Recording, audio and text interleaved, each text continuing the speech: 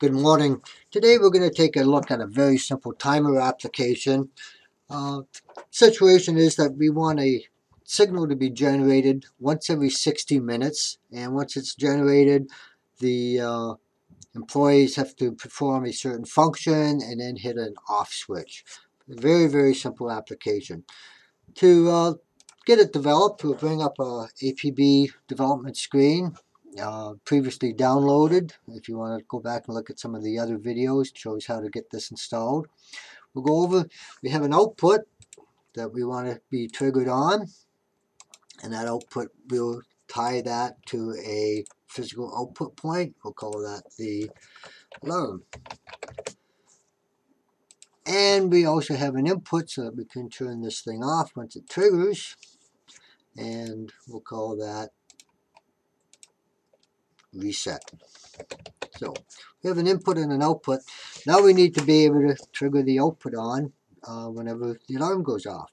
So we'll go over to our digital functions and we see that we have uh, something called a set reset relay. We'll install one of those in and basically we will want a relay when it goes off to turn on the alarm and we want to be able to reset our alarm with a reset button. The last piece is we need to trigger this thing on every 60 minutes. So we'll go in and we'll take a blinker block and uh, take a look at its properties very quickly. We see that we can have it uh, time uh, when it first powers up, it will time for a certain amount of time, and then it will go into a dwell time uh, for another amount of time. We'll set this to one hour, or 60 minutes, and we'll have it generate a very quick one second pulse. We won't be using the reset, so we'll leave that as the low level, and we'll call this our timer. Save that. Oh, and one thing I forgot to do here is we want this timer running continuously, so we'll tie that to a high level continuous running mode. And we'll take that output and tie it to that. So if we go up to our simulate button now, we can see how this runs. We see that it generated the one pulse, the alarm is on, and it's now busily counting down. We could sit here for an hour and wait to see if it would reset. Uh, we will test the reset button. We notice that the latch gets reset and now it's waiting for the, uh, the one hour. Well, during development we may want to reduce that time down a bit. So let's stop our simulator, go back in to our property block, and we'll reduce this time down to something that we can sit around and wait for, maybe 10 seconds. Go back to our simulator. We see that it turns on and we can turn it off and this is busily counting down. Now, one of the problems we see is that when we hit 10 seconds it generated the pulse but the reset input always takes precedence over the set.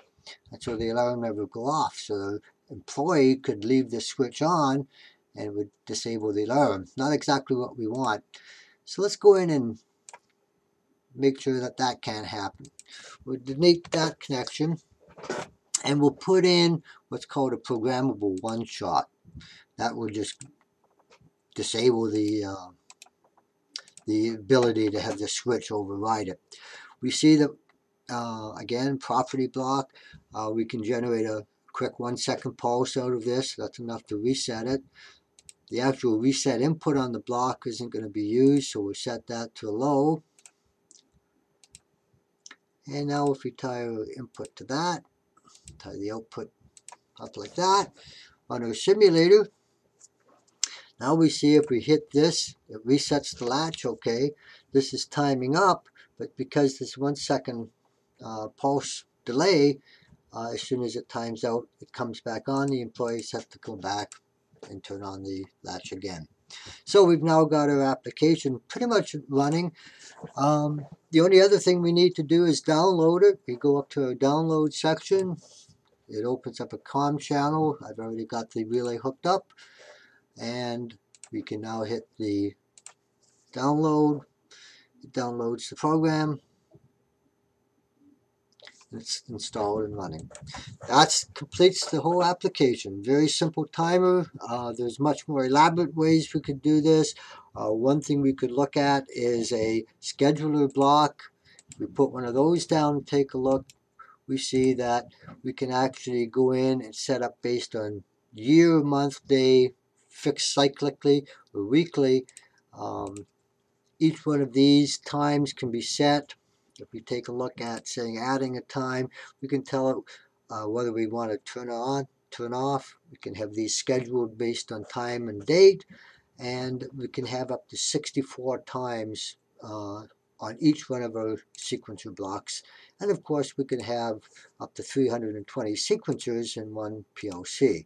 Not that we probably need it, but that shows some of the advanced timing capabilities. In the meantime, this solved the immediate problem. Thank you very much. And if you have any other questions, please contact us and check the web um, as far as other applications. Thank you.